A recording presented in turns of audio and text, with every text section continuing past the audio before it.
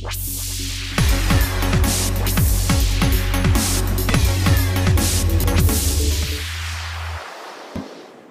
to Vogue Eyewear presents MTV Style in 60 with me, Bani J. The day of love is approaching and we all want to impress our special someone. Fretting over what to wear? Don't because I'm going to show you what you can wear to woo your loved one. A beautiful feminine blouse when paired with the right accessories can look very pretty. You can also wear a well-fitted lace dress that looks sexy and sophisticated. And of course, you can never go wrong with a pair of staple black pants. It goes with everything.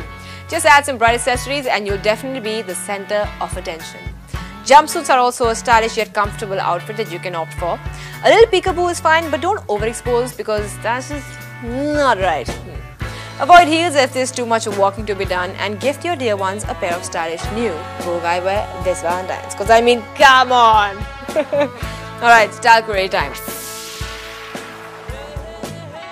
Divya from Mumbai sent in her style query asking, I love wearing dresses and skirts, but I don't like my thighs. What should I do? You can wear opaque tights or stockings under your dresses or skirts.